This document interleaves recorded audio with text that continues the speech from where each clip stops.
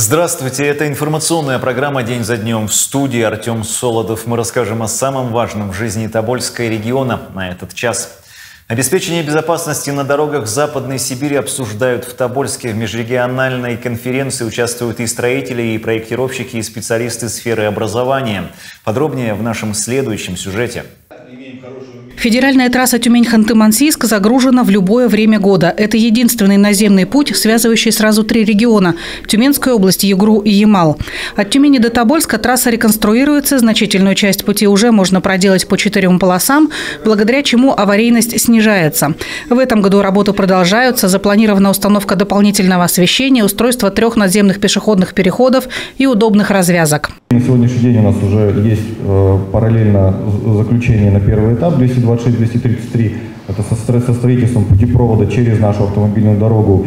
Э, развязка э, предусмотрена, ну, в принципе, по типу разворотной петли, только в разных уровнях. И опоры уже подрядчиком «Мостострой 11», генподрядчики, он же генпроектировщик в нашем случае – опоры уже поставлены, но там в связи со сдвижкой финансирования некоторым там, работы сейчас э, график немного пересмотрен. Самый ожидаемый объект реконструкции трассы – новый мост через Иртыш. Самый сложный участок – это строительство нового моста через Иртыш. Э, достаточно большое сложное сооружение. Перекресток на сегодняшний день у нас существующий поворот на Абалак, Прииртышский и далее уже на Тобольск – там у нас тоже предусмотрена транспортная развязка в разных уровнях. Есть у нас желание сделать что-то э, вроде э, эстетической подсветки на, въезд, на этом путепроводе, потому что там как, какие-то в, в некотором роде, можно сказать, и там, ворота практически в город Тобольск. Обеспечение безопасности передвижения – одна из главных задач. В прошлом году мы очень тесно поработали э, с федеральными и региональными властями с точки зрения выработки комплекса мероприятий, таких первоочередных. Э, даже непопулярное решение по э, значит, закрытию участка на подъезде к городу, раз, разрешающий обгон, вызывало много нестандартных мнений, но так или иначе это все сработало, и вот уже год спустя мы видим, что на этом участке нет у нас аварийности. Президент России поставил задачу сократить аварийность на дорогах в полтора раза к 2030 году и в два к 2036. Мы все нацелены на выполнение одной главной задачи – это повышение нормативного состояния дорог, безопасность дорожного движения, совершенствование технической и нормативной базы. И на сегодня мы уже достигли в этом направлении больших результатов, но многое нам предстоит еще сделать. Уже практически 10 лет Тобольск является площадкой для обсуждения вопросов развития транспортной инфраструктуры Уральского округа. Город – это одна из важнейших точек автомобильных маршрутов в Западной Сибири. Светлана Галякова, Наталья Китова, Рустам Рузеев. Тобольское время. Уровень воды в Иртыше в районе Тобольского гидропоста за сутки снизился на 2 сантиметра и на утро 20 июня составляет 769 сантиметров. Пик паводка пройден, об этом ранее сообщал губернатор Тюменской области Александр Мор. Понижение уровня воды наблюдается уже несколько дней, поэтому с 20 июня паром на левый берег и автобусы до переправы будут работать в обычном режиме. Первый рейс из Тобольска в Бекерево отправляется в 6 утра, а последний в 23.00. Во временной зоне разворота автобусов просят не парковать машины. Это связано с остаточным застоем воды на левом берегу в районе остановки Бекерева. Напомню, что задать все вопросы, касающиеся паводка, можно по номеру горячей линии 122. 20 июня стартовала приемная кампания в вузах страны, а вот среднеспециальные учебные заведения уже активно принимают абитуриентов. Какие профессии можно получить в тобольских техникумах и колледжах, узнала Анастасия Плюснина. Валерия проходит психологическое тестирование. Это вступительное испытание для поступающих на медицинские специальности. Девушка с этой сферой решила связать дальнейшую жизнь. На фельдшера сначала, потом получить либо высшее, либо пойти на стоматолога. Э, открыть, может, свою уже клинику. Изначально хотела помогать людям, со здоровьем что-то связано, и изучать человека, организм. Тобольский медицинский колледж в этом году предлагает 580 бюджетных мест. Это у нас лечебное дело, сестринское дело, акушерское дело, лабораторная диагностика, стоматология профилактическая, фармация, медико-профилактическое дело, социальная работа. Технологий индустрии красоты. И впервые в этом году мы набираем на бюджетной основе сестринское дело очно-заочное обучение на базе 11 класса. На лечебное акушерское сестринское дело и технологии индустрии красоты принимают заявки до 10 августа, на остальные специальности до 15. Плюсом для абитуриента будет наличие волонтерской книжки, нагрудного знака за доброе сердце. Также учитывается участие в программе «Первая профессия школьника» и обучение в медклассе. Медклассы у нас открыты в четырех школах города. Это 9 школа, 13 школа, 20 и Сетовская СОЖ. У них занятия проводят наши педагоги, то есть большим углублением в медицину уже. Ну и, соответственно, что мы ждем таких детей. В Тобольском рыбопромышленном техникуме можно выбрать среди таких специальностей, как судовождение, водные биоресурсы и аквакультура, экономика и бухгалтерский учет. Открыто 125 бюджетных мест, а в многопрофильном техникуме 930, что примерно на 200 больше, чем в прошлом году. Здесь можно получить профессию повара, строителя, ветеринара, музыканта. Всего 50 вариантов.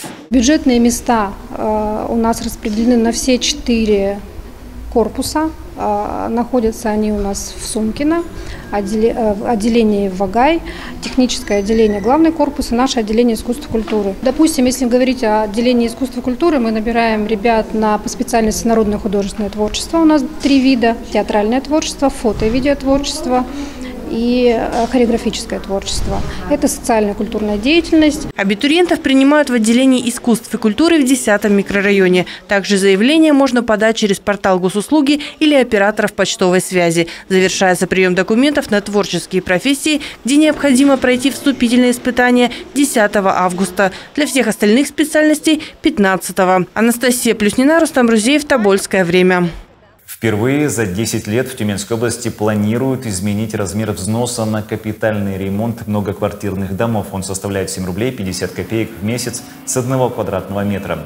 С 1 июля поднимется до 10 рублей. Затем будет ежегодно индексироваться. Даже после увеличения размер взноса на капремонт в Тюменской области останется самым низким в Уральском федеральном округе и одним из самых низких в России. При этом в регионе продолжат компенсировать взносы на капремонт, сохранится адресная поддержка граждан. Причины увеличения взноса на капремонт – рост себестоимости работы из-за повышения рыночных цен на строительные и горюче-смазочные материалы, энергоносители. Более 816 тысяч гектаров полей Тюменской области засеяны яровыми культурами, еще чуть свыше 2,5 тысяч гектаров подозимыми культурами. На наших полях уже всходят пшеница, овес, ячмень, рожь, горох, кукуруза, рапс, а также подсолнечник, горчица, лен, картофель, капуста, свекла, морковь, лук и различные виды салатов и зелени. Отрадно, что сельхозтоваропроизводители на 10 тысяч гектар больше, чем в прошлом году посеяли а, технических культур, такие как а, рапс и лен. А, это рыночно выгодная культура, востребованная на нашем рынке. Отмечу, что в Тобольском районе в этом году более 11 700 гектаров заняты сельскохозяйственными культурами. На Завальном кладбище продолжаются работы по реставрации надгробий. В прошлом году уже были обновлены могилы Петра Славцова и Михаила Знаменского. На очереди еще 11 захоронений. Будет приведена в порядок и центральная аллея. На месте работ побывала и наша съемочная группа. Место упокоения художника Михаила Знаменского теперь заметно издалека. На могиле именитого земляка установлен скульптурный портрет.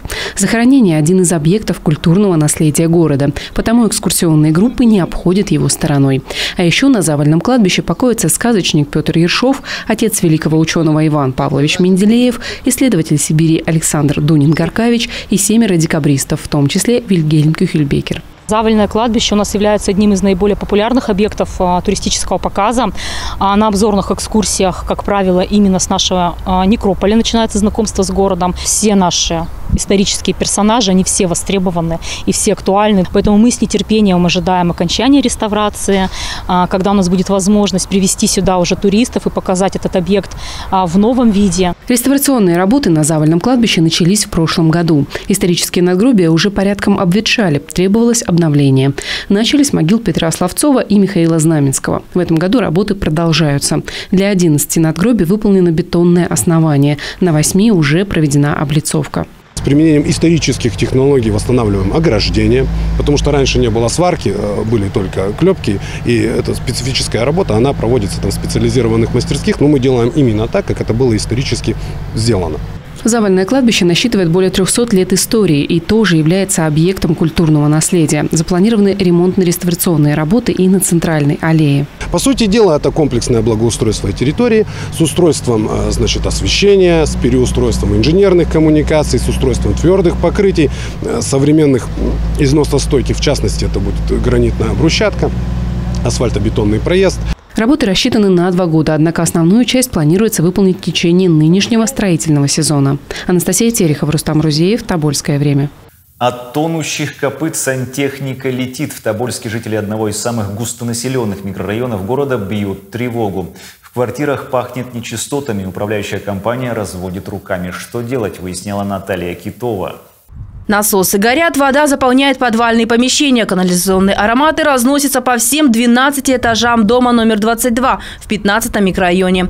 Жители говорят, что уже больше года живут в невыносимых условиях и дышат парами нечистот. У нас в год по несколько раз прорывает канализацию, все это идет в подвал. То есть в подъезд зайти невозможно. Вплоть до 12 этажа идет стойкий запах. Вот. Как вот мы сегодня при встрече э, Поэтому, вернее, нам пришлось организовать эту встречу представителей ИСУНК, управляющей компании, а также представителей администрации чтобы попытаться решить эту проблему. По словам сотрудников управляющей компании, виноваты в ситуации сами жильцы. По незнанию или лени они умудряются спустить в унитаз даже мусор. Чего только не находят потом сантехники из последнего и самого загадочного – копыта какого-то животного. Одной из самых главных причин подтопления подвального помещения это является засор на сетях водоотведения. Причиной засора у нас является это ненормативное пользование санитарными приборами. То есть в унитазы сливаются те предметы, которые туда, по сути, попадать не должны. Вследствие чего происходит засор, а, впоследствии засора происходит потопление подвального помещения. Кроме того, в доме частенько случаются аварии с водопроводом, а ответы управляющей компании и подрядной организации расходятся. Пишут э, жильцы дома с утра, где вода, типа Суэнко устраняет аварию. Говорит, мы звонили в Суэнко. Суэнко говорит, мы закончили работу, дом должен быть подключен. То есть получается, аварию, аварию устранили еще вчера, а люди сегодня еще ждут воды. Контакт между управляющей компанией и жильцами явно не налажен. Вот и потребовалось участие представителей администрации города. Выявлен целый ряд проблем канализационной системы. Если простой засор, по идее, если герметичность, она соответствует нормативным значениям, соответственно, а, канализационные воды в подвальном помещении поступать не должны. Да. Должен быть излив из колодца. Из колодца но соответственно, управляющая компания, второе поручение, это проверить все вот стыковые соединения на предмет герметичности. На сегодня засор в трубопроводе устранен. Проводится мероприятие по сушке подвала. В настоящее время а, управляющая компания будет проводить мероприятия, направленные на откачку воды из подвального помещения. После этого хлорирование данного подвального помещения. Но проблема так и останется нерешенной, пока жильцы не научатся использовать сантехнику и канализацию по их прямому назначению. Наталья Китова, Рустам Рузеев, Тобольское время. В этом году Тобольску исполняется 437 лет. Город готовится отметить день рождения 29 июня. Программа будет наполнена музыкальными выступлениями и шоу-показами. С 12 часов на главной сцене у Кремля начнется концерт детских творческих коллективов. В 13.00 еще одна концертная площадка откроется у Дворца Наместника. А в 15.30 стартует масштабное праздничное шествие. На Красной площади развернутся интерактивные площадки, можно будет посетить семейные мастер-классы, детские аттракционы, увидеть показательные выступления кинологического клуба, соревнования по боксу. Ремесленники города проведут выставку изделий. В гостином дворе всех ждет музыкальный подарок от ансамбля русских народных инструментов «Тоболевский» тур-спектакль «Тобольск в кармашке». Завершится праздник выступлением кавер-группы «Лимонад» из Екатеринбурга. Более подробно ознакомиться с программой можно на сайте летовтобольске.рф. Далее прогноз погоды. Смотрите нас и в телевизионном эфире, в социальных сетях. И подписывайтесь на наш телеграм-канал. QR-код для перехода сейчас на вашем экране. Будьте всегда в курсе событий. До встречи! 21 июня в Тюмени и Сургуте плюс 22, Нижневратовске плюс 20, в Казани 24, в Санкт-Петербурге плюс 20, в Москве плюс 21 градус.